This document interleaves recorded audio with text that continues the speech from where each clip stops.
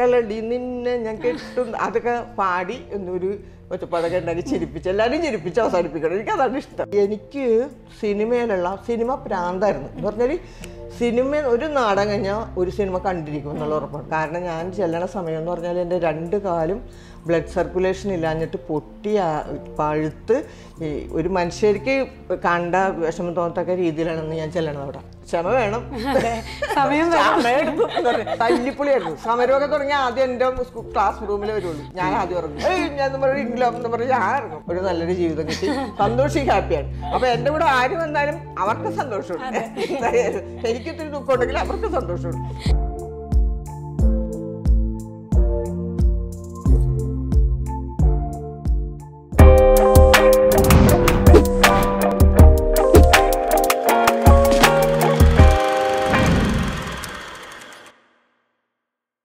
നാൽപ്പത് വർഷത്തോളമായി നാടകത്തിലും പിന്നീട് സിനിമയിലും ഇപ്പോൾ ഇതാ നമ്മുടെ അപ്പൻ എന്ന സിനിമയിലെ കുട്ടിയമ്മയായി നമ്മളൊക്കെ നെഞ്ചിലേറ്റിയ പോളിച്ചേച്ചിയാണ് എന്റെ കൂടെ ഉള്ളത്. പൗളി എന്നാണ് പേര്. പക്ഷെ ഞാൻ പോളിച്ചേച്ചി എന്നേ വിളിക്കുള്ളൂ സ്നേഹം കൊണ്ട്. ചേച്ചി ഏറ്റവും പുതിയ വിശേഷം അപ്പനാണ്. അതെ. അതെ. അതിലെ കുട്ടിയമ്മ ഞങ്ങളെ എല്ലാവരെയും ഭയങ്കരമായിട്ട് ആകർഷിച്ചു അതിലെ. ഇത്രയും കാലം ചേച്ചി ചെയ്ത ഒരു ക്യാരക്ടർ റോളിൽ നിന്ന് ഭയങ്കര എന്തോ കു- കുറച്ച് അധികം ചെയ്തതായിട്ടോ അധികം എന്തൊക്കെയോ അതിൽ കൊടുത്തതായിട്ടോ തോന്നി. എങ്ങനെയുണ്ടായിരുന്നു ആ ഒരു സിനിമയിലേക്കുള്ള എൻട്രിയും പിന്നീട് സിനിമ? സിനിമ മജു ഇതിന്റെ സ്ക്രിപ്റ്റ് എഴുതുമ്പോൾ തന്നെ അത് പൗളി ചേച്ചിനെ വിളിക്കണം എന്നൊരു തീരുമാനത്തിലാണ് എഴുതിയത് തന്നെ. പിന്നെ അത് ഞാൻ ഫ്രഞ്ച് വിപ്ലവം എന്നുള്ള സിനിമ മജുവിന്റെ ചെയ്തിട്ടുണ്ട്. അതായിരുന്നു തോന്നുന്നു ഫസ്റ്റ് പടം. അപ്പോൾ അത് ചെയ്ത ചെയ്തിട്ടുണ്ട്. ആ ചെയ്തുകൊണ്ടിരിക്കുന്ന ആ ലൊക്കേഷൻ വെച്ചാണ് എനിക്ക് അവാർഡ് പ്രഖ്യാപിക്കണത്. മമ്മൂക്കയൊക്കെ എന്നെ ഫോണിലേക്ക് വിളിക്കണതൊക്കെ അവിടെ വെച്ചാണ്. അവിടെ അത് അപ്പോൾ നമ്മൾ വളരെ സന്തോഷത്തോടുകൂടി സണ്ണി വേനും ഉണ്ടായി. അതാണ് അതിന്റെ പ്രത്യേകത. അവർ രണ്ടുപേരുള്ള ഒരു സിനിമയായിട്ടാണ്. അപ്പൊ ഞങ്ങൾ രണ്ടുപേരും അജുന്റെ ആ അടുത്ത സിനിമയിലേക്ക് വന്ന്. ഇത് ഒരുപാട് നാൾ കൊണ്ടുള്ള പ്രയത്നമായിരുന്നു ഒരുപാട് കഷ്ടപ്പെട്ടിട്ടാണ് സ്ക്രിപ്റ്റ് ഇത്ര തയ്യാറാക്കി. ഇത്രയും ദുഷ്ടരായ ഒരു അപ്പനും ഇത്രയും പാവം പിടിച്ചൊരു അമ്മയും ആ കുടുംബത്തിന്റെ പശ്ചാത്തലമൊക്കെ മജുവിന് കഴിവുള്ള വിധത്തിൽ തന്നെ അത് ചെയ്തിട്ടുണ്ട്. അത് അത് ഫല ഫലമുണ്ടായി എന്നുള്ളതാണ് എനിക്ക് പറയാനുള്ളത്. അതെ നമ്മൾ സിനിമ കാണുമ്പോൾ ഈ അപ്പൻ എന്ന് പറയുന്ന സിനിമയിലുള്ള ഇട്ടി എന്ന ക്യാരക്ടർ നമുക്കൊക്കെ കണ്ട് നമ്മുടെയൊക്കെ ചുറ്റുപാടും കണ്ടു പരിചിതമായ ഒരു ക്യാരക്ടറാണ് അതെ. ചേച്ചി കണ്ടിട്ടുണ്ട് ഇപ്പൊ നാടകത്തിൽ ഒരുപാട് വർഷം അഭിനയിച്ചിട്ടുണ്ട് അല്ലെങ്കിൽ സിനിമയിലേക്ക് വന്നപ്പം വീട് ഇപ്പൊ വൈപ്പിനിലാണ് വീട്. സാധാരണക്കാർ ജീവിക്കുന്ന സ്ഥലമാണ്. അവിടെയൊക്കെ എവിടെയെങ്കിലും ഇട്ടി ഞങ്ങളുടെ ഇട്ടി എന്നുള്ള കഥാപാത്രം ഞങ്ങൾ എന്ന് പറഞ്ഞാൽ വൈപ്പിനിൽ ഏറ്റവും നല്ല ഏറ്റവും നല്ല സ്ഥലം വളപ്പാണ്. അതായത് നമ്മളുടെ വളപ്പ് കിഴക്കോട്ട് ഒരു എന്റെ ഈ ഓർമ്മയിൽ ഒരു അനാവശ്യമായ രീതിയിലുള്ള ജീവിത രീതി ഇല്ല എല്ലാം നല്ല മക്കളാണ്. പിന്നെ ഒരാളും അങ്ങോട്ട് പ്രേമിക്കണ് അപ്പുറത്തെ ആൾ ഇപ്പുറത്ത് പ്രേമിക്കണ് അല്ലെങ്കിൽ ഇയാളുടെ വൈഫിനെ വേറൊരാൾ കൊണ്ടുപോകണം. അങ്ങനത്തെ ഒരു സെറ്റപ്പ് നമ്മുടെ വളപ്പ് എന്ന ആ ലൈനിലില്ല അപ്പോൾ അതുകൊണ്ട് എനിക്ക് അവിടെ ഇങ്ങനൊരു സംഭവങ്ങളില്ല. പക്ഷേ എന്റെ ജീവിതത്തിൽ പല അനുഭവങ്ങളിലും ഇങ്ങനെയുള്ള ഭാര്യമാരുണ്ട്. ഒരുപാട് നേരം ചോറും കാത്തു വെച്ചുകൊണ്ടിരുന്നിട്ട് ഭർത്താവ് അവിടെ നിന്ന് ചോറും വരണ ഒരു ജീവിത രീതി. അതെന്റെ മനസ്സിലേക്ക് അവർ പറയണത് എനിക്ക് വളരെയധികം വിഷമം തോന്നിയിട്ടുള്ള അവരെ ആശ്വസിപ്പിച്ചിട്ടുണ്ട് എങ്കിലും അവരെ ആശ്വസിച്ചിട്ടില്ലെന്നും അത് ഒരു മാനസികാവസ്ഥ എന്താണെന്ന് എനിക്ക് വളരെയധികം അറിയാവുന്ന ഒരാളാണ്. വർഷങ്ങൾക്ക് ശേഷമാണ്. അപ്പോൾ നമ്മൾ ഇപ്പം ഈ സന്ദർഭത്തിൽ നമുക്ക് അങ്ങനെ ഒരു റോൾ കിട്ടിയപ്പോൾ ശരിക്കും പറഞ്ഞാൽ ഞാൻ അവരെ ഓർത്തെന്നുള്ളതാണ് അവരുടെ ജീവിതം അവരുടെ വിഷമതകൾ എന്റെ കണ്ണിലുണ്ടായിരുന്നു. അതുകൊണ്ടാണ് എനിക്ക് ഇത്രയും നന്നായിട്ടത് ചെയ്യാൻ മജു വിചാരിച്ചതിനേക്കാളും നന്നായിട്ട് ചെയ്യാൻ എനിക്ക് സാധിച്ചു. മജു എന്നോട് പറയും ഓരോ സീൻ കഴിയുമ്പോൾ ചേച്ചിക്ക് ഞാൻ എന്തിനാ പറഞ്ഞത് ചേച്ചി ഞാൻ വിചാരിക്കണേക്കാളും മുകളിലാണ് ചേച്ചി ചെയ്യണത്. അത്. ദൈവാനുഗ്രഹമാണ് ശരിക്കും അത് ഇല്ലേ? അതെ, ദൈവം തന്നൊരു ഇതാണ് നമുക്കൊരു അനുഗ്രഹം. അപ്പൊ അതുകൊണ്ട് നമുക്ക് അത് ചെയ്ത് ഇത്രയും നന്നായിട്ട് വീഴുമെന്നൊന്നും നമ്മൾ പ്രതീക്ഷിച്ചില്ല. കാരണം ഞാൻ ചെല്ലണ സമയം എന്ന് പറഞ്ഞാൽ എന്റെ രണ്ട് കാലും ബ്ലഡ് സർക്കുലേഷൻ ഇല്ലാഞ്ഞിട്ട് പൊട്ടി പഴുത്ത് ഈ ഒരു മനുഷ്യർക്ക് കണ്ട വിഷമം തോന്നത്തക്ക രീതിയിലാണെന്ന് ഞാൻ ചെല്ലണത് അവിടെ. ആ കെട്ട് വെച്ചിട്ടാണ് ഞാൻ ഈ സിനിമ ചെയ്തത്. രണ്ട് കാലിലും കെട്ടായിരുന്നു. സിനിമ തീരാൻ പോണ സന്ദർഭത്തിലാണ് എന്റെ ഇത് മുറിവ് ഉണങ്ങി തുടങ്ങിയത്. അതായത് ഒരു നാൽപ്പത് ദിവസം എടുക്കുക ഒരു മാസം ഞാൻ കണ്ണീരൊഴുക്കിയാണ് ആ ദിവസങ്ങൾ ചെയ്തത്. എന്ന് പറഞ്ഞാൽ രാത്രി മുഴുവനും കരഞ്ഞ് കണ്ണീരൊഴുക്കി വേദന സഹിച്ച് വന്ന് പിന്നെ എന്റെ ഒരു കൂട്ടുകാരി ഉണ്ടായി എന്റെ കൂടെ. എന്റെ മകളെ പോലെ തന്നെയായിരുന്നു സന്തോഷി എന്ന് പറഞ്ഞിട്ട്. എന്നോട് എനിക്ക് വേണ്ടി ഒരുപാട് കഷ്ടപ്പെട്ട്. എന്ന് പറഞ്ഞാൽ ഈ കാലെടുത്ത് വെച്ച് കഴുകി തുടച്ച് അങ്ങനെയൊക്കെ ചെയ്തു തരാനും എന്നെ ഹോസ്പിറ്റലിൽ കൊണ്ടുപോകാനും ഡ്രസ്സ് എടുത്ത് തരാനും ഒക്കത്തിനും എന്നെ ഒരുപാട് ഹെൽപ്പ് ചെയ്ത ആളാണ് സന്തോഷി. അപ്പോൾ അവരുണ്ടായത് കൊണ്ടാണ് എനിക്ക് ഇത്രയെങ്കിലും പിടിച്ചേക്കാൻ പറ്റിയത്. ഒരാൾ നമ്മുടെ ഞാൻ സാധാരണ ആ കോവിഡ് സമയത്ത് പുറത്തിറങ്ങാനോ ഒരാളെ കൊണ്ടുപോകാനോ ഒന്നും പറ്റാത്ത പറ്റാത്തൊരവസ്ഥ. ഇപ്പം എന്റെ അനിയത്തിമാരുടെ മക്കളെയൊക്കെയാണ് ഞാൻ കൊണ്ടുപോയിരുന്നു വെച്ചത്. എവിടെയെങ്കിലും ഇങ്ങനെ കുറേ ദിവസത്തേക്ക് വേണ്ടി വരും. അല്ലെങ്കിൽ ഒറ്റയ്ക്ക് ഒരു ദിവസത്തേക്ക് രണ്ട് ദിവസത്തേക്കൊക്കെ ആണെങ്കിൽ ഞാൻ കൊണ്ടുപോകില്ല അല്ലെങ്കിൽ നമുക്ക് കുറേ ദിവസത്തേക്ക് വേണമെങ്കിൽ മിണ്ടാനും പറയാൻ ഒരാൾ വേണമല്ലോ എന്നുള്ള രീതിയിൽ ഇതുങ്ങളെ കൊണ്ടുപോകുമായിരുന്നു. അപ്പോൾ ഇവർ രണ്ടുപേരുടെയും കല്യാണം കഴിഞ്ഞു. ഇപ്പൊ ഒരാളെ കൊണ്ടുപോയി തുടങ്ങിയപ്പോൾ അയാൾക്കും കല്യാണം കുറച്ച് അയാളുടെയും കല്യാണമാണ് ജനുവരിയിൽ അപ്പോൾ പിന്നെ നമ്മൾ പുറത്തുനിന്നുള്ള രണ്ട് വ്യക്തികളെ ഞാൻ കൊണ്ടുപോകും. ഒന്ന് വയനാട്ടിലുള്ള ഒരു ആലീസ്. അവരൊരു ആർട്ടിസ്റ്റാണ് അവരുടെ മകളും അഭിനയിക്കുന്നതാണ് കൊച്ച് ഉണ്ട്. നന്നായിട്ട് അഭിനയിക്കും. ദുബായിലൊരു പിന്നെ ഷോർട്ട് ഫിലിം സെറ്റിൽ ചെന്നിട്ട് ആ കൊച്ചിനാണ് ഏറ്റവും നല്ല നടിക്കുള്ള നാടിട്ട്. നമ്മുടെ അപ്സലിയും ഒക്കെ കൂടി ചെയ്തൊരു വർക്കാണ് അങ്ങനെ ഒരു നല്ല കഴിവുള്ള ഒരു കുട്ടിയാണ്.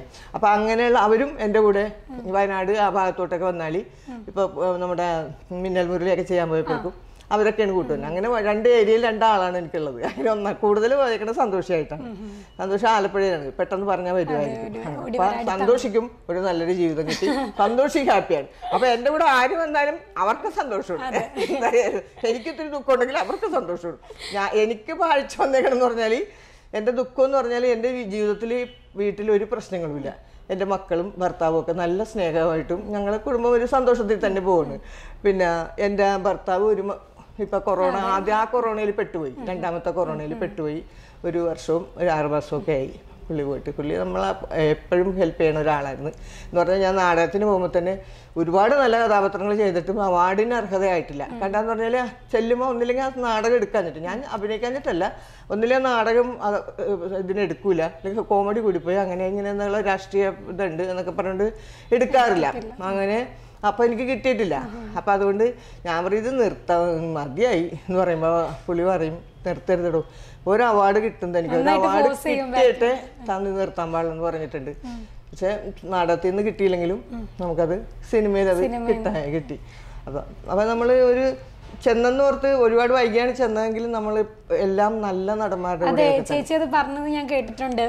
എത്തേണ്ട സമയത്ത് തന്നെ ഞാൻ കറക്റ്റ് എത്തി എത്തി മാത്രമല്ല നമ്മൾ അഭിനയിച്ചേക്കണെന്ന് പറഞ്ഞാൽ എല്ലാം നല്ല സംവിധായകന്മാരുടെ കൂടെ നല്ല നടന്മാരുടെ കൂടെ എല്ലാം ന്യൂ ന്യൂജന്റെ കൂടെ. അവരുടെ കൂടെയുള്ള എക്സ്പീരിയൻസ് എങ്ങനെ? നമ്മൾ ആദ്യത്തെ സിനിമ മമ്മൂക്ക ഉണ്ടായി. അപ്പൊ മമ്മൂക്ക നാടക ഈ സിനിമയുടെ രീതികളെല്ലാം അറിയാം. എനിക്ക് നാടകത്തിൽ നിന്ന് നിൽക്കുന്നുണ്ട് ഒന്നും അറിഞ്ഞൂടാ. ഈ നാടകത്തിൽ ആംഗിൾ അറിഞ്ഞൂടാ എവിടെ നോക്കണ്ടെന്ന് അറിഞ്ഞൂടാ. വ്യത്യാസങ്ങളുണ്ട്. വ്യത്യാസം പറഞ്ഞാൽ നമുക്ക് ഇഷ്ടമുള്ളിടത്ത് നമ്മൾ എന്ന് പറയും നാടകത്തിൽ ഇത് അങ്ങനെ പറയാൻ പറ്റില്ല. അപ്പൊ അതുകൊണ്ട് ആ രീതിയിൽ നമ്മൾ ശബ്ദ ഡയലോഗ് പറഞ്ഞപ്പോൾ മമ്മൂക്കയാണെന്ന് പറഞ്ഞ് ഇങ്ങനെ കൈ കാണിച്ചിട്ട് ഇതിൽ നോക്കിയാൽ നമ്മൾ മമ്മൂക്കനെ നോക്കി പറയണത്. അപ്പം നമുക്ക് ആദ്യമേ തന്നെ ഒരു ഇത് ഓ ഇതെന്താണ് ഇത്? ഇങ്ങനെ നടൻ വരൂലേ? എന്നിങ്ങനെ നമുക്ക് തോന്നുമല്ല അങ്ങനെ. പക്ഷെ ഞാൻ ആദ്യത്തെ ഡയലോഗ് പറഞ്ഞപ്പോൾ തന്നെ നമുക്ക് ആ ശബ്ദം നമുക്ക് എന്നെ പരിചയമുള്ള പോലെ ഒരു നല്ല ശബ്ദമാണെന്ന് തോന്നി. ഒരു നാടകത്തിൽ ചെയ്തിട്ടുണ്ട്. അപ്പൊ അന്ന് ഞാൻ പത്താം ക്ലാസ്സിൽ പഠിക്കണേ. പക്ഷെ അപ്പൊ അന്ന് സിദ്ദിഖ് നമ്മുടെ തൊട്ട് അടുത്തുള്ള ആളാണ്. സിദ്ദിഖ് വേഗം പറഞ്ഞു അത് ഹൈപ്പിങ്ങരയിലുള്ളൊരു എന്ന് പറഞ്ഞു. ഞാൻ വള്ളിക്കൽസൊക്കെ ഇട്ട് കിടക്കുമ്പോൾ പവിളിച്ചിച്ച് നാടൻ കളിക്കണേ ഞാൻ ഫ്രണ്ടിൽ പോയിരുന്ന് കാണുമായിരുന്നു എന്ന് പറഞ്ഞു. അപ്പോൾ നമുക്കറിഞ്ഞ ആ ഞാനും നാടൻ കളിച്ചിരുന്നില്ല അവരുടെ എന്ന് പറഞ്ഞുകൊണ്ട് മമ്മക്ക് എഴുന്നേറ്റ് വന്നു. മമ്മക്ക് എഴുന്നേറ്റ് വന്നിട്ട് കൈ മാറ്റിയിട്ട് മമ്മൂക്കയുടെ മുഖത്ത് നോക്കി പറയേണ്ട ഒരു അവസരം കിട്ടി. അപ്പോൾ മമ്മൂക്കിനോട് ഞാൻ പറഞ്ഞ് പിന്നെ സുരാജ് പറയും ഇനി കരയേണ്ട ആരെങ്കിലും വന്നിട്ട് കരഞ്ഞാൽ മതി അമ്മായി എന്ന് പറയും. അപ്പോൾ ആ സമയത്ത് ഞാൻ പെട്ടെന്ന് കണ്ണീര് ഞാനപ്പോൾ ഇന്നിങ്ങനെ കാണിച്ച്. ക- മമ്മൂക്ക് പറഞ്ഞ് ഇങ്ങനെ കാണിക്കണ്ട ഇങ്ങനെ കാണിക്കുന്നത് ശരി വെക്കാൻ പറഞ്ഞു. അപ്പൊ ഒരു നടനും ഒരു സംവിധായകനും. എന്ന് പറഞ്ഞാൽ മമ്മൂക്കയുടെ കൂടെ ആദ്യത്തെ സിനിമ അഭിനയിച്ച് മമ്മൂക്ക എന്നെ സംവിധാനം ചെയ്തു. അപ്പൊ അതെനിക്ക് ഒരു അത് എന്നെ സംബന്ധിച്ച്. പിന്നെ മമ്മൂക്കയുടെ സെറ്റിൽ എപ്പോ ചെന്നാലും എന്നെ ആരും ഈ തടയാറില്ല. മമ്മൂക്കിനോട് ചെന്ന് സംസാരിക്കാനായിട്ടൊക്കെ. അപ്പൊ അങ്ങനെയൊക്കെ നമുക്കൊരു സ്വാതന്ത്ര്യമുണ്ട്. നമ്മുടെ ഒരു സ്വന്തം പോലെ അതായത് നമുക്ക് മമ്മൂട്ടി ഒരു തവണ അന്ന് നാടകത്തിന്റെ സമയത്ത് എടുത്ത ഫോട്ടോ ഒക്കെ സൂക്ഷിച്ചു വീട്ടിലുണ്ട്. എന്റെ അടുത്ത് നഷ്ടപ്പെട്ടു നമ്മ ഈ ചട്ടപ്പുരയിലല്ലേ കൊണ്ടുവച്ചത്. അത് തെളി തെളി തെളി പോയി. പക്ഷെ മമ്മൂക്കിയുടെ അടുത്ത് ഇരിക്കണത് ഉണ്ടെന്ന് പറഞ്ഞപ്പോ എനിക്കും ഭയങ്കര സന്തോഷം. അവിടെ ഉണ്ടല്ല. നമ്മൾ പത്താം ക്ലാസ്സിന്റെ ആ മുഖം നമുക്ക് ഓർമ്മയിലുണ്ട് എന്നോർത്ത്.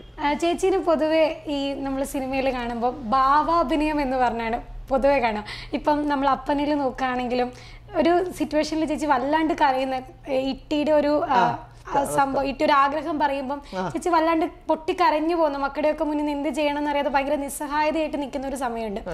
അതെങ്ങനെയാ ആ സമയത്ത് പെട്ടെന്ന് കണ്ണു നിറയുന്നത്? അതുപോലെ നമ്മുടെ ഇപ്പൊ പുതിയ ഷീല എന്ന് പറയുന്ന ഒരു ക്യാരക്ടർ ചെയ്ത അവർ പറയുന്നുണ്ടായിരുന്നു പോളി ചേച്ചിയൊക്കെ ആക്ഷൻ പറഞ്ഞ സ്പോട്ടിൽ കണ്ണൊക്കെ നിറയുക എങ്ങനെ ഇത്ര പെട്ടെന്ന് ആ ഒരു ക്യാരക്ടറിലേക്ക് എത്താൻ പറ്റുക? അതിപ്പോ നമ്മ ഇപ്പൊ ഒരു സാധനം തന്നു കഴിയുമ്പോൾ നമ്മൾ അതിന്റെ രീതിയിലൊന്ന് വായിച്ചു പഠിക്കുമല്ലോ വായിച്ചു പഠിക്കും അവിടെ സിങ് സൗണ്ടും ആയിരുന്നേ.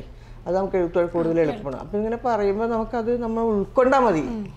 എന്നെ സംബന്ധിച്ച് ആ സീൻ ഉൾക്കൊണ്ട് ഇപ്പോൾ മമ്മൂക്കയുടെ പടത്തിൽ ഭീഷ്മപർവത്തിൽ ഒരു ഒരു പാരഗ്രാഫ് ഡയലോഗാണ് ആ ഡയലോഗിന്റെ അവസാന ഭാഗത്ത് കരയണം. കരയണം നമ്മൾ മനസ്സിൽ കണക്കൂട്ടി. നമ്മൾ എവിടെ നിന്ന് നമ്മൾ അത് കയറി കയറി കയറി കയറി വരണോ എന്നുള്ളത് നമ്മുടെ മനസ്സിലുണ്ട്. അപ്പോൾ ആ സമയത്ത് കണ്ണീര് വന്നു. ഇപ്പൊ ഞാൻ ഈ അപ്പൻ സിനിമയുടെ കുറച്ച് റിവ്യൂസ് ഒക്കെ വായിച്ച സമയത്ത് ഇപ്പം കെ പി സി ലളിത അവരെ പോലെ ഉള്ളവരൊക്കെ ആയിട്ട് ഒരു താരതമ്യപ്പെടുത്തൽ കണ്ടു. അങ്ങനെ അവരൊക്കെ ഈ പറയുന്ന പോലെ നമ്മൾ ആക്ഷൻ പറഞ്ഞ ഉടനെ ഭയങ്കരമായിട്ട് അഭിനയിക്കുന്ന ആളുകളാ. കണ്ണു നിറയെ നാടകത്തിന്റെ ആ ഒരു ക്വാളിറ്റി ആണോ ചേച്ചിക്ക് അതെ അതെ അതെ. നാടകം ചെയ്തവർ ഇപ്പൊ തിലഞ്ചേട്ടനൊക്കെ നോക്കി. അപ്പൊ എന്നെ ഫറീസ് അവരൊക്കെ ഞങ്ങൾ ഒന്നിച്ച് നാടകം കളിച്ചിട്ടുള്ള ആളുകളാണ്. അഞ്ചു വർഷം ഞാൻ തിലഞ്ചേട്ടന്റെ കൂടെ നാടകം കളിച്ച അപ്പോൾ അവർ നമ്മൾ ഈ നാടകക്കാർക്ക് അങ്ങനെ ഒരു ഇതുണ്ട്. കാരണം എന്താണെന്ന് അറിയുമ്പോൾ ഇവർക്ക് ശബ്ദത്തിൽ കൂടി മാത്രമേ ഒരു കുറച്ച് ഒരു എത്ര അമ്പത് അടിയോളം അങ്ങോട്ട് പോയി കഴിഞ്ഞാൽ പിന്നെ ജനം കാണില്ലല്ലോ നമ്മളെ. നമ്മുടെ ഒരു നിഴൽ പോലെ മുഖം ഇത്തിരി കാണും. ശബ്ദത്തിലാണ് നമ്മളിവിടെ പിടിച്ചേക്കുന്നത്. അപ്പൊ അത് നമ്മൾ ചെറുപ്പത്തിൽ തുടങ്ങി ശീലിച്ചത് കൊണ്ട് നമുക്ക് അത് ഓട്ടോമാറ്റിക്കലായിട്ട് വന്നോളൂ. ഒരു മോനൊരു സങ്കടപ്പെട്ട ഒരു സീൻ പറഞ്ഞാൽ ഞാനത് ചെയ്യുമ്പോൾ മോന് മനസ്സിലാവും. ഓ ചേച്ചി അത് പെട്ടെന്ന് അങ്ങനെ. അപ്പൊ ഞാൻ മാഴവൽ മനോരമയിൽ പടം തരുമണം എന്ന് പറഞ്ഞൊരു പരിപാടിക്ക് പോയതായിരുന്നു. അപ്പൊ ജഗദീഷ് സാറല്ലേ? ജഗദീഷ് സാർ പറഞ്ഞു ചേച്ചി ഇങ്ങനെ കണ്ണീര് വരുമെന്നൊക്കെ പറഞ്ഞു കേട്ടിട്ടുണ്ട്. ഞാനൊരു സീൻ പറയാം. ചേച്ചി അത് പറഞ്ഞിട്ടൊന്ന് കരയണം. എനിക്കൊന്ന് കാണുമല്ലോ എന്ന് പറഞ്ഞിട്ട് തന്ന് കണ്ണീര് വന്നു. കണ്ണീര് വന്ന് കൈയടിച്ച് പുള്ളിയും കരുതി അപ്പൊ അത് നമുക്ക് നാടകത്തിൽ നിന്ന് കിട്ടിയതാ ശരിക്കും പറഞ്ഞാൽ നാടകം പെറ്റമ്മയും സിനിമ പോറ്റമ്മയും അത്രയും ഇഷ്ടമായിരുന്നു സിനിമയോട്. എനിക്ക് ഞാൻ കേട്ടിട്ടുണ്ട്. ഇപ്പം സ്കൂളിൽ നിന്നൊക്കെ ടീച്ചർ രണ്ട് മൂന്ന് പരിപാടി എന്ന ചേച്ചി ഒന്നും കൂടി കൂട്ടി ചോദിക്കും. അത്രയും അതെന്താണെന്നറിയോ? എനിക്ക് ഈ പത്ത് പരിപാടി ഉണ്ടെന്ന് വിചാരിച്ചോ? കോൺവെന്റിൽ ഞാൻ കൂടുതൽ പഠിച്ചു. പത്ത് പരിപാടി ലാസ്റ്റ് ഒരു പരിപാടി എന്തെങ്കിലും ഒരു നല്ല രീതിയിൽ പറഞ്ഞ അവസരം. അപ്പൊ എന്റെ മനസ്സിൽ എന്താണെന്ന് പറയാം ലാസ്റ്റ് എല്ലാവരും ഒന്ന് ചിരിപ്പിച്ചിട്ടുള്ള കാര്യം നിർത്തിട്ട് ഒരു കോമിക് എന്ന് പറഞ്ഞ ഒരു ഇത് എഴുതിക്കോ ടീച്ചറെ അങ്ങോട്ട് പറയും. അപ്പൊ ടീച്ചർ എഴുതും. ഞാൻ എന്നിട്ട് നീ പണ്ടത്തെ ഏതെങ്കിലും നടന്മാരൊക്കെ ബഹദൂർ എസ് പി പിള്ളയൊക്കെ ചെയ്ത പാട്ടുകൾ ഉണ്ടല്ലോ വേണ്ട? കളടി നിന്നെ ഞാൻ കെട്ടും. അതൊക്കെ പാടി എന്നൊരു ഉണ്ടാക്കി ചിരിപ്പിച്ച് എല്ലാവരും ചിരിപ്പിച്ച് അവസാനിപ്പിക്കണം. എനിക്ക് അതാണ് ഇഷ്ടം അതാണ് സിനിമയിലേക്ക് വരുമ്പോഴേ കോമഡിയും ചെയ്യലുണ്ട് സീരിയസ് ആയിട്ടുള്ള കഥാപാത്രങ്ങളും. ചേച്ചിക്ക് കുറച്ചും കംഫർട്ട് ചെയ്താ സീരിയസ് ആയിട്ടാണോ? എനിക്ക് അങ്ങനെയില്ല. എന്ത് തന്നാലും നമുക്ക് തട്ടുപൊളിപ്പിനാണെങ്കിൽ ചെയ്യാം. വില്ലനായാലും കൊള്ളാം. വില്ലത്തെ സാധനം തന്നില്ല. നമ്മുടെ മനസ്സിലുള്ള സാധനങ്ങൾ ഇവർ തന്നിട്ടില്ല ഇതുവരെ. എന്ത് തന്നാലും നമ്മൾ ചെയ്യും. ഇപ്പൊ ആദ്യരാത്രിയിൽ ഒരു പിന്നെ മൂന്നാത്തിയുടെ റോളാണെങ്കിലും അത് കട്ടക്കട്ട നമ്മൾ ഞാനും ബിജുവിനും കൂടി നിന്ന്. പടം ഇത്തിരി ഇതായി പോയെങ്കിലും എന്റെ റോൾ ഭംഗിയായിട്ട് ചെയ്തിട്ടുണ്ട്. ആളുകളെല്ലാവരും ഇതേപോലെ അപ്പം കഴിഞ്ഞപ്പോൾ വിളിച്ച പോലെ തന്നെ വിളിച്ച്. ഡാഗിനി ഡാഗിനി ഇതേപോലെ സിനിമ അത്ര മോളിൽ പോയില്ല. എന്നാലും പക്ഷെ ഡാഗിനി എടുത്ത ആളിന്റെ ആദ്യത്തെ സിനിമ ഏറ്റവും നല്ല സിനിമയായിട്ട് അവാർഡ് കിട്ടിയ പടം. അതെ അപ്പൊ അതുകൊണ്ട് അതിൽ ഒരു ഇതിപ്പോ എല്ലാം ഒരേപോലെ വരില്ലല്ലോ മനുഷ്യന്റെ കാര്യമല്ലേ?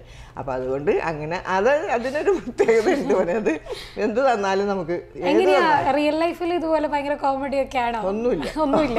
കോമഡി ഒന്നുമില്ല. പക്ഷെ എവിടെയെങ്കിലും ചെന്നാലും ആരെങ്കിലും പറഞ്ഞനുസരിച്ച് ഒരു കൗണ്ടർ അടിച്ചാൽ അത് ഓക്കെ ആയിരിക്കുള്ളൂ എന്നാലും ചേച്ചി സന്തോഷം എന്ന് പറയുന്ന ഒരു സാധനം അതെങ്ങനെയാ കൂടുതലും കണ്ടെത്തി എപ്പോഴും ഹാപ്പി ആയിട്ടിരിക്കാൻ എന്താ ചെയ്യുക? അങ്ങനെയൊന്നുമില്ല ഇത്രയും ഏജ്ഡ് ആയിട്ടുള്ള ഒരാളത് പറയുമ്പോൾ ചിലപ്പം എന്നെ പോലുള്ള ആളുകൾക്കൊക്കെ അത് ഫോളോ ചെയ്യാൻ പറ്റില്ല. എങ്ങനെയാ സന്തോഷം കണ്ടത് സന്തോഷം എന്ന് പറയുന്നത് നമ്മൾ എന്തായാലും വന്ന വന്ന് വന്നോടത്തൊന്നും പറഞ്ഞ നടക്കണം. അത്രേ ഉള്ളൂ. നമ്മൾ നമ്മ അത് പിടിവിട്ടുള്ള ചില സന്ദർഭങ്ങളുണ്ട്. പക്ഷെ അത് നമുക്ക് മരണം സത്യമാണല്ലോ. നമുക്ക് എന്ത് എന്താ എന്ത് കാര്യം വന്നാലും മരണം സത്യമാണ്. അപ്പൊ നമ്മൾ ഈ പടം എനിക്ക് വരുമ്പോ എനിക്ക് ഞാൻ നല്ല ഹാപ്പിയാണ് ഇത് ഇങ്ങനത്തെ സാധനമൊക്കെ ചെയ്യണം എന്നൊക്കെ എന്റെ ഞങ്ങൾ രണ്ടുപേരും കൂടെയാണ്. ഇപ്പൊ ഞാനും വത്സനും വത്സനാണ്. അങ്ങ് അങ്ങോട്ട് വീട് വിളിക്കണത്. അയാൾ എന്നെ മോനെ എന്ന് വിളിക്കണം. പക്ഷെ ഞാൻ വത്സൻ എന്ന് പറയും. ഇടയ്ക്ക് മോനെ മോനെ ഞങ്ങൾ പറയുമെങ്കിലും പറയുമ്പോ നമ്മൾ പേര് പറയും. അപ്പൊ അങ്ങനെ പറയുമ്പോൾ വന്ന് ഈ ഒരു സീൻ തന്നാൽ വന്നു കഴിഞ്ഞാൽ ഡയലോഗ് ഉണ്ടാടും? അവർ ആ ഡയലോഗ് ഉണ്ട്. അധികം അധികമൊന്നുമല്ല ഒരു ഒന്നോ രണ്ടോ സീനൊക്കെ ഉള്ളൂ. നമുക്കൊക്കെ വലിയ സീൻ തരുമോ? ആരും. അങ്ങനെ പറയുള്ളൂ ചെറുതിനും ഇവിടെ വലുതിനും ഒന്നും പറഞ്ഞില്ല. ഒരു ഡയലോഗ് ആണെങ്കിലും. ഇപ്പൊ കട്ടപ്പനയിൽ ഋതിക് റോഷന്റെ ഒറ്റ ഡയലോഗ് ഉള്ളൂ. ഇപ്പൊ മറ്റേ ദൃശ്യം ടു. അത്. എന്തിട്ടുള്ളത് ഒന്നുമില്ല. പക്ഷെ എന്നാലും അത് ഞാൻ ചെയ്തുകൊണ്ട് അത് അതത്രയും ഇങ്ങനെ പോയി. ക്ഷമ വേണം.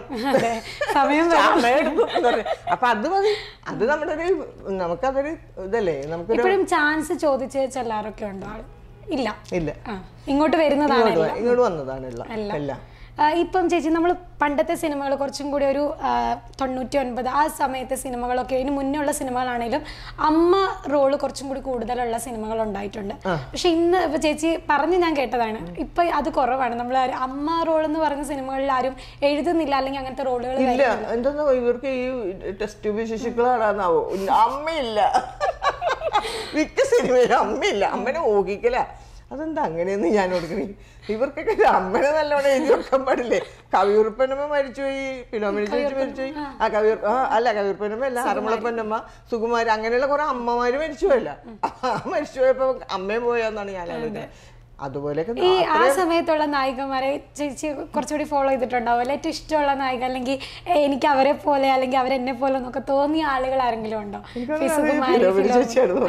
ഫിലോമിൻ. ചേച്ചിയാണ് എന്ന് എല്ലാവരും ചിലരൊക്കെ പറഞ്ഞേക്കാം. ഞാൻ ചില സാധനങ്ങളൊക്കെ പറയുമ്പോൾ ഇത് ഫിലോമിൻ ചേച്ചിടാ എന്ന് പറയും പറഞ്ഞു ഞാൻ അങ്ങനെ ചിന്തിച്ചിട്ട് ചെയ്യണില്ല കേട്ടാ പക്ഷെ അങ്ങനെ ചില ആൾക്കാർ പറഞ്ഞു നമുക്ക് നമ്മുടേതായ ഒരു കോൺട്രിബ്യൂഷൻ അത്രേ ഉള്ളൂ. നമ്മൾ അത് മാത്രം നമ്മുടെ ശബ്ദം ദൈവം സഹായിച്ചിട്ട് എല്ലാവരും തിരിച്ചറിയുന്നുണ്ട് അപ്പൊ ആരും ശബ്ദമാണ് മെയിൻ ആയിട്ട് ആളുകൾ തിരിച്ചറിയുന്നത് അത് അതായത് നമുക്ക് വേറെ ഇവരെയൊക്കെ ഇങ്ങനെ ഒരാൾ പോലെ നമുക്ക് ചെയ്യാൻ പറ്റില്ലല്ലോ. അവർ ചെയ്തു വെച്ചേക്കണ എന്ന് പറഞ്ഞാൽ അവരൊക്കെ പ്രതിഭാശാലികളാണ്. ശരിക്കും പറഞ്ഞാൽ കെ പി എസ് ലളിതയൊക്കെ എന്ന് പറഞ്ഞാൽ ഒരു സിനിമയിൽ ഒരു ഈ സങ്കടത്തിന്റെ അല്ല ഒരു ശാപം കൊടുക്കണ ഒരു ഒരു പടമുണ്ട്. പടം എന്താണെന്ന് ഞാൻ ഓർക്കണില്ല. മണ്ണ് വാരിയിട്ട് ഇങ്ങനെ എറിഞ്ഞിട്ട് അവർ പറയണത് ഒരു സീൻ.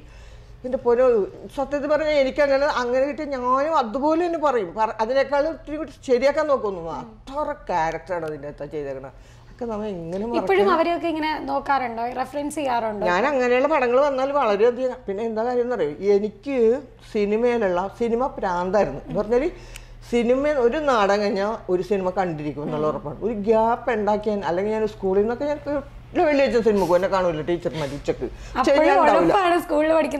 തല്ലിപ്പൊളിയായിരുന്നു. സമരമൊക്കെ തുടങ്ങി ആദ്യം എന്റെ ക്ലാസ് റൂമിൽ വരുള്ളൂ. ഞാൻ ആദ്യം ഇറങ്ങും ഞാൻ പറഞ്ഞു ഇംഗ്ലീഷ് എന്ന് പറഞ്ഞ് ഞാൻ ഇറങ്ങും. അതന്നെ. എന്നോട് അവർ പറയും ഞങ്ങൾ ആദ്യം അവിടെ ഒരു ടോളി വന്നു എന്ന് പറയും. അങ്ങനത്തെ ആളായിരുന്നു. തല്ലിപ്പൊളിയായിരുന്നു. വേറെ കുഴപ്പമൊന്നുമില്ല. പക്ഷെ ആൾ ഭയങ്കര ഓവർ സ്മാർട്ടായിരുന്നു എന്റെ അത് ആളുകൾക്ക് ഇഷ്ടമായിരുന്നു. ചെയ്ത്? ചെയ്ത് ചെയ്ത് പോയി. അത്രേ ഉള്ളൂ. അത്രേ അതേ ഉള്ളൂ. ഇപ്പോഴും അങ്ങനെയൊക്കെ തന്നെയാണ് ഒരു പരിധി വരെ. ഒരു പരിധി വരെ. ചേച്ചി ഇപ്പം സിനിമയിലേക്ക് വരികയാണെങ്കിൽ ചേച്ചി ഇപ്പൊ ഈ അടുത്ത ഒരു ആറേഴ് വർഷം എത്ര വർഷമായിട്ടുണ്ടാവും സിനിമ? രണ്ടായിരത്തി എട്ടിലായിരുന്നല്ലോ അപ്പം ഓക്കെ.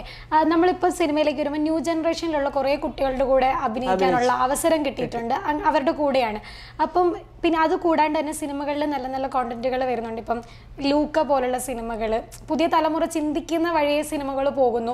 അങ്ങനെ. അപ്പൊ അത്തരം സിനിമകളിലൊക്കെ അവരുടെ കൂടെ അഭിനയിക്കുമ്പോൾ ഇപ്പൊ ടൊവിനോ ആയിക്കോട്ടെ അല്ലെങ്കിൽ അങ്ങനെയുള്ള നായക നായകന്മാരുടെ കൂടെ അഭിനയിക്കുമ്പോൾ ഒരു എക്സ്പീരിയൻസ് അതെങ്ങനെയാണ്? നമ്മൾ ചെയ്യണത് അവർക്ക് നമ്മൾ എന്ത് തന്നാലും ചെയ്യുമ്പോൾ അവർക്ക് ഇഷ്ടവും. അപ്പൊ അവരത് ആ ചേച്ചി ഒന്ന് ഇങ്ങനെ ലെവൽ വേറെ എന്നൊക്കെ ഇങ്ങനെ പറഞ്ഞ്. എനിക്ക് ഇഷ്ടംപോലെ പിള്ളേരുടെ കൂടെ അഭിനയിക്കാൻ പറ്റി. ദുൽഖറിന്റെ കൂടെ ആദ്യം തന്നെ അഞ്ച് സുന്ദരികൾ ചെയ്ത് ഫഹദിന്റെ കൂടെ അന്യ റസൂലും ചെയ്ത് പിന്നെ നല്ല സംവിധായകന്മാർ അതായത് അമൽ നീരത് രാജീവ് രവി രഞ്ജിത്ത് പിന്നെ അങ്ങനെ രഞ്ജി പണിക്കരോട് കൂടെ അഭിനയിക്കാൻ പറ്റി രഞ്ജി മകന്റെ മകന്റെ പടത്തിൽ അഭിനയിക്കാൻ പറ്റി സുരേഷ് ഗോപിയുടെ അഭിനയിക്കാൻ പറ്റി അതുപോലെ തന്നെ ചെറിയ പിള്ളേരായാലും ബേസിൽ ബേസിൽ എന്റെ എന്റെ മകനായിട്ട് അഭിനയിച്ച് നമ്മുടെ ജോജു മകനായിട്ട് അഭിനയിച്ച് അവർക്ക് ഇങ്ങനെ വരുന്ന സമയത്തൊക്കെ ഒരു നല്ല നല്ല പുലിമട എന്നൊരു പുലിമട ചെയ്തു വെച്ചിട്ടുണ്ട് ഏ, അതൊക്കെ നല്ലൊരു സംഭവങ്ങളൊക്കെ ആയിരിക്കും.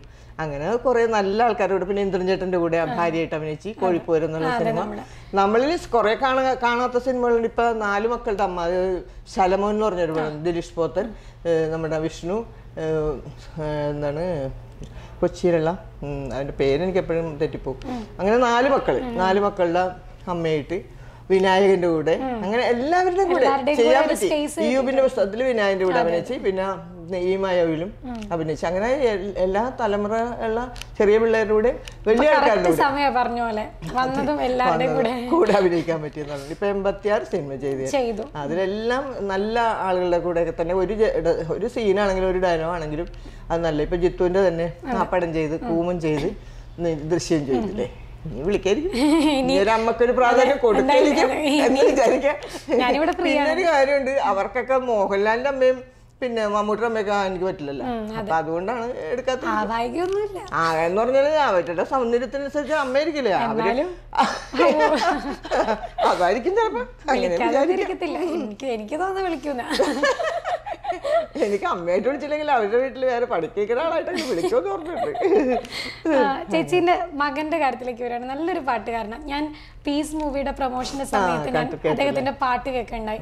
സിനിമയിലേക്ക് ഉണ്ടാവോ? പെട്ടെന്ന് എങ്ങനെ? ഉണ്ടാകാൻ സാധ്യത കുറവാണ് കാരണം എന്താന്ന് പറഞ്ഞാൽ ഇപ്പൊ സിനിമയിൽ സിനിമ അഭിനയിക്കുന്ന ആ പിള്ളേരൊക്കെ തന്നെയാണ് ഇപ്പൊ പാടുന്നത്. യേശുദാസിനെ അവർ വിളിക്കില്ല. പിന്നെ എന്റെ മോനെ എങ്ങനെ വിളിക്കാനാണ് പിന്നെ ഞങ്ങൾക്ക് അങ്ങനെ സിനിമയിൽ ഒരു പരാതിയൊന്നുമില്ല. നല്ല പാട്ടുകാരനാണെന്നും നല്ലോണം പാടുമെന്നും ആവശ്യങ്ങൾക്ക് അതിന്റെ ആവശ്യം വരുമെന്നൊക്കെ നമുക്കറിയാം.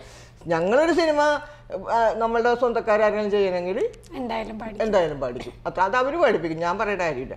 അത്രേ ഉള്ളൂ. അല്ലാണ്ട് നമുക്ക് ഇവരോടും അവരോടൊക്കെ ഒന്നും കാൽ പിടിച്ച് പറഞ്ഞിട്ട് കാര്യമില്ല.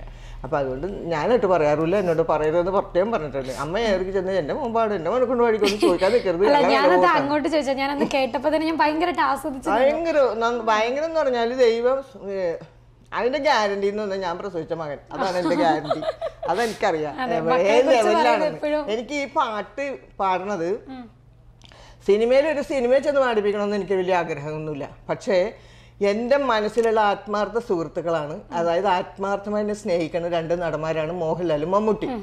ഏഹ് ബാക്കിയുള്ളവരെല്ലാം അതിന്റെ താഴെയുള്ളവരാണ്. സ്നേഹമില്ലാഞ്ഞിട്ടല്ല അവരുടെ താഴെ. ഇവരോട് എനിക്കുള്ള മതിപ്പെന്ന് പറഞ്ഞാൽ എന്റെ വീട്ടിൽ മമ്മൂട്ടിനെ പറ്റി മോഹൻലാലിനെ പറ്റി മാത്രമാണ് സംസാര വിഷയം പതിനൊന്ന് മണി കഴിഞ്ഞാൽ അവർ ചെയ്ത കാര്യങ്ങൾ അവർ ചെയ്തു. ഇപ്പോഴും ഒരു പഴയ പടം അവിടെ നടന്നുകൊണ്ടിരിക്കണേ നമുക്കട. അത് കണ്ടുണ്ട്. അങ്ങനെ ഞങ്ങൾ സംസാരിക്കണ പ്രത്യേക ഞങ്ങളുടെ കുടുംബത്തിലെ ഒരു അംഗമാണ് ഇവർ രണ്ടുപേരും. ഇവർ രണ്ടുപേരും എനിക്ക് എന്റെ വീട്ടിലേക്ക് കൊണ്ടുപോകാൻ എന്നെ കാണിക്കാനോ ഇത്തിരി ചാളക്കറിയും ചോറൊക്കെ കൊടുക്കാനോ ഒന്നും സഹിച്ചിട്ടില്ല. പക്ഷേ എന്നാലും ഇവരോടുള്ള ആത്മാർത്ഥത എന്ന് പറഞ്ഞാൽ എന്റെ ഹൃദയത്തിലുള്ള ആത്മാർത്ഥത എന്ന് പറഞ്ഞാൽ ഞാൻ ഞങ്ങളുടെ നാട്ടിലുള്ള ആൾക്കാർ ചോദിച്ചത് പൗളി ചേച്ചി മരിച്ചാലും മമ്മൂട്ടി വരുമെന്നാണ് ചോദിച്ചത് ചോദിക്കുന്നത് അപ്പം എന്റെ ആഗ്രഹം അതാണ്. എനിക്കതാണ് വത്സം മരിച്ചതിലുള്ള സങ്കടം. കാരണം ഞാൻ അത് ഒന്നും മമ്മൂക്കിനോട് പറയാൻ പറ്റിയിട്ടില്ല. ഞാൻ പെട്ടെന്ന് മരിച്ചു പോയ മമ്മക്കൊന്ന് എന്നെ കാണാൻ വരണോട്ടാന്ന് എന്താണെന്ന് പറഞ്ഞാൽ എന്റെ ജനം എന്നെ മരിച്ചതല്ല എന്റെ മരണത്തിനല്ല അവർക്ക് വില കൽപ്പിക്കുന്നത് എന്നെ കാണാൻ മമ്മൂട്ടി വരുമെന്നാണ് ചോദിക്കണതെന്ന് പറഞ്ഞത് അപ്പൊ അതുകൊണ്ട് എനിക്ക് മമ്മൂട്ടിനോടൊന്നും എനിക്ക് ഇതുവരെ മമ്മൂക്കിനോട് പറയാൻ പറ്റിയിട്ടില്ല. പക്ഷേ അങ്ങനെ രണ്ട് വ്യക്തികളുടെ മുമ്പിൽ എന്റെ മോന്റെ പാട്ടൊന്ന് കേൾപ്പിക്കണമെന്ന് ഒരാഗ്രഹം ഉണ്ടത് അതെന്റെ വലിയ ആഗ്രഹം. എനിക്ക് എന്റെ മോഹൻ മോന്റെ സ്വരം പൗളിയുടെ മോൻ ഇങ്ങനെയാണല്ലേ എന്നും നമുക്ക് പറയണതാണ് എന്റെ അഭിമാനം. എന്റെ എന്റെ എന്റെ ശരിക്കുള്ള ദർശനോടുള്ള ഞാൻ ചെയ്യണ ഏറ്റവും മഹത്തായ ഒരു കാര്യമായിരിക്കും. കാരണം ആദർശ് എന്ന പേര് പക്ഷെ ഞാൻ ദർശനം എന്നാ വിളിക്കണം. എന്റെ മോന്റെ ശബ്ദം ഇവരെ രണ്ടുപേരും ഒന്ന് കേൾപ്പിക്കണം. അതായത് മോഹൻലാൽ അഭിനയിച്ച ഒരു സിനിമയിലെ പാട്ട്. അത് മമ്മൂട്ടി അഭിനയിച്ച സിനിമയിലെ പാട്ടും പാടി ദർശനെ കേൾപ്പിക്കും ഇവരെ കേൾപ്പിക്കണം. എനിക്ക് മരിക്കണതിന് മുമ്പുള്ള ഒരു ആഗ്രഹം അത് മാത്രമേ ഉള്ളൂ. കാരണം പിന്നെ എനിക്കൊരു സങ്കടമുള്ളതെന്ന് പറഞ്ഞാൽ എന്റെ മോൻ കല്യാണം കഴിച്ചിട്ടില്ല. രണ്ടാമത്തെ. രണ്ടാമത്തെ ആൾ അതിന്റെ ഒരു സങ്കടമുണ്ട്. കല്യാണം കഴിക്കാൻ പുള്ളിക്ക് സമയമില്ലാത്ത പോലെ പാട്ടിന്റെ പുറകെ നടക്കുന്നു അത് ഒരു ക്രൈസ് ഉണ്ടാവും. അത്ര ഇതാണ് പാട്ടുമായിട്ട്. ഭയങ്കര വേറെ ചോറ് നിന്നും എന്നും ഒന്നും നിന്നും വേണ്ടില്ല. പാട്ടേ പാട്ടേ മ്യൂസിക് ടീച്ചർ അല്ല മ്യൂസിക് ടീച്ചറാണ് ഓൺലൈൻ ആ ക്ലാസ് പത്ത് ഇരുപത്തഞ്ച് പിള്ളേരുണ്ട് കൂടെ. പിന്നെ പുറത്തുനിന്നുള്ള പിള്ളേരും ഒക്കെ ഉണ്ട്. അപ്പൊ അങ്ങനെ ഒക്കെ നല്ല ബാക്കി എങ്ങനെയാ ഫാമിലി എന്നുള്ള സപ്പോർട്ടൊക്കെ ഇപ്പൊ സിനിമ ഫാമിലി എന്ന് പറഞ്ഞാൽ നമ്മുടെ കുടുംബത്തിലുള്ള സകല ആൾക്കാർ എനിക്ക് സപ്പോർട്ടാണ് അതെ. നാട്ടുകാരും. നാട്ടുകാർ നാട്ടുകാർ വലിപ്പം വരുമ്പോ നമ്മുടെ കയ്യിലാണ്. അത്ര. പിന്നെ തൊട്ട അയൽവാസികൾക്ക് അത്ര പോരാ. ഒത്തിരി അസൂയുണ്ട്.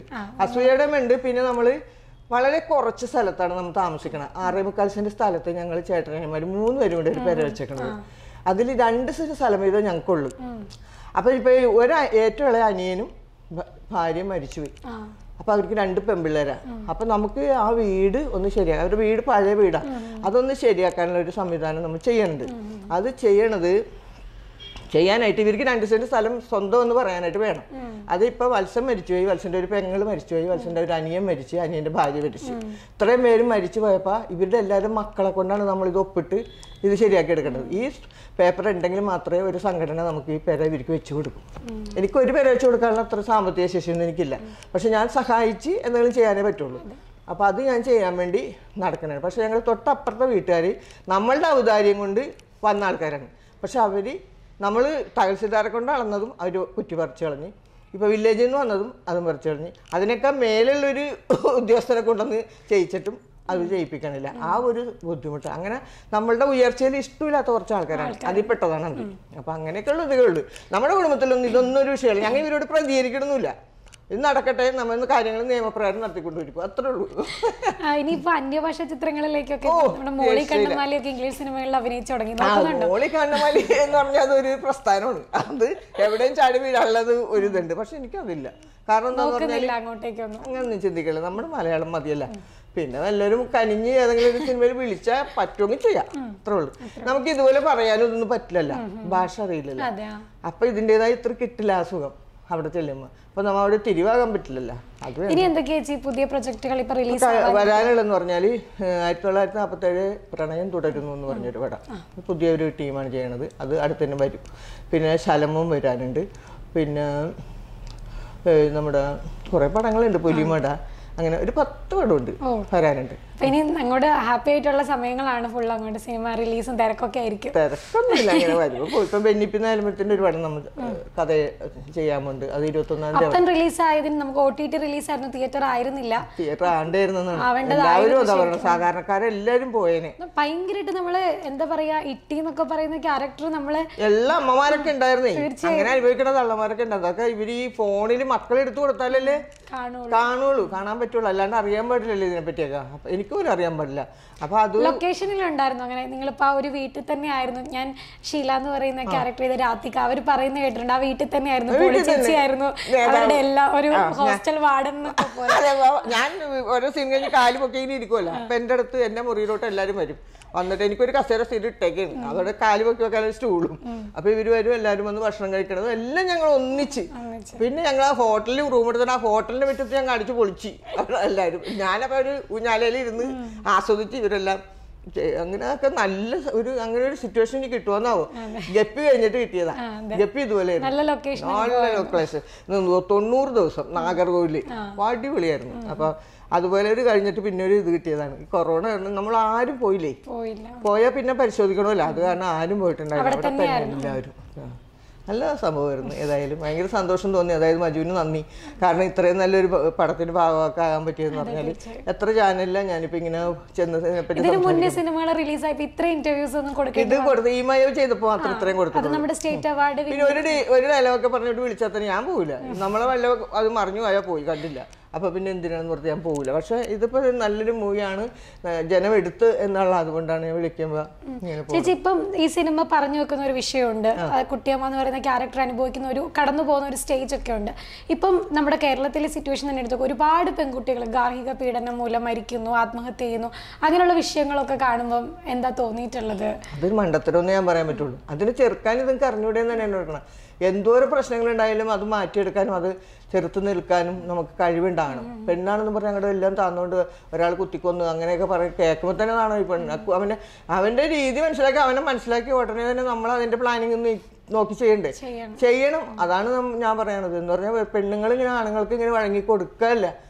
അവർ അനുഭവിച്ച് കിടക്കുന്നതിന്റെ ഒരു സ്റ്റേജ് ഒക്കെയാണ് നമ്മൾ അപ്പൻ അപ്പത്തെ അതെ അതെ കണ്ടില്ലേ? നമ്മൾ അപ്പൊ അത് അങ്ങനത്തെ ഒരു അവസ്ഥയല്ല ഇപ്പൊ. ഇപ്പൊ നമ്മൾ ഈ പടം കാണുമ്പോൾ പിള്ളേർക്ക് മനസ്സിലാക്കാനുണ്ട്. എന്ന് പറഞ്ഞാൽ ഒരു ഭാര്യ അനുഭവിച്ച ദുഃഖം. ഈ ഇതിൽ ഈ ചെറിയ പെൺപിള്ളേരാണ് ചിലപ്പോൾ ഈ കല്യാണം കഴിച്ച ചെറുക്കന്മാരെ കൂടി പോണത്. എന്നിട്ട് അവന്റെ അവിടെ ചെന്ന് കഴിയുമ്പോൾ അവനും അവിടെ സുഖം ഉണ്ടാവും. അവനും കുറെ ആൾ കഴിയുമ്പോൾ ഇവൾ അവളെ എന്നെ ഉപയോഗിച്ച് അവനെ ഉപയോഗിച്ച് വന്നല്ലേ അപ്പൊ ഇവൾ ഇത്ര ക്വാളിറ്റി നമ്മൾ അവർ കാണുള്ളൂ നേരെ മറിച്ച് ഒരു ഭർത്താവ് മരിച്ചു പോയ സ്ത്രീയാണെങ്കിൽ അതില്ല. അപ്പൊ അതൊക്കെ നോക്കി മനസ്സിലാക്കി ജീവിച്ചില്ലെങ്കിൽ പിന്നെ എന്തിട്ടാണ്? അതല്ലേ എപ്പോഴും നമ്മുടെ കാര്യങ്ങളല്ലേ. പെണ്ണുങ്ങളെ പറ്റി അവിടെ പീഡിപ്പിച്ച് ഇവിടെ പീഡിപ്പിച്ചെന്നല്ലാണ്ട് വേറെ എന്തെങ്കിലും ഇത് മാത്രമേ ഉള്ളൂ ഞാൻ പുറത്തിറങ്ങണ എല്ലാ പെണ്ണുങ്ങളും ഇങ്ങനെ പീഡിപ്പിക്കപ്പെട്ടോടെ ഇടാന്നു അങ്ങനെയല്ല നമ്മൾ കുറച്ചിങ്ങനെ തന്റെ ഇടം കാണിച്ച് പിടിച്ചു നിൽക്കണം എന്നാലേ മാത്രമേ പറ്റുള്ളൂ. ഇത്രയൊക്കെയാണ് എനിക്ക് നിങ്ങളോടൊക്കെ പറയാനുള്ളത്. അതെ ഞാനത് സ്വീകരിക്കുന്നു. എന്തായാലും ഇനിയും കുറേ നല്ല സിനിമകൾ ഉണ്ടാവട്ടെ. ഇനി അടുത്ത സിനിമ ഹിറ്റ് ഹിറ്റാകുമ്പോൾ എനിക്ക് ഇതുപോലെ ഇരുന്ന് സംസാരിക്കാൻ. Thank you thank you